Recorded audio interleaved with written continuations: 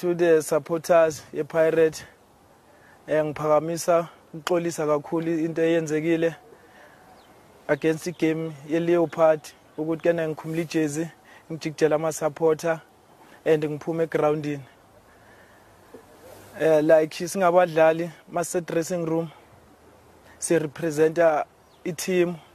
Masingena egrawundini siya ngako konke esinakho ukuthi kena-ke siyiwine igame nokuthi sijabulise wona ama-supporter.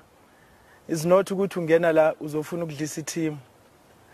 Was my frustration ukuthi ngizwe iy'nkulumo uma ngidlale ukuthi kena-ke ngiphume but ngalokho ngiphakamisa ukuxola ukuxolisa kakhulu kuko konke lokho engikwenzile.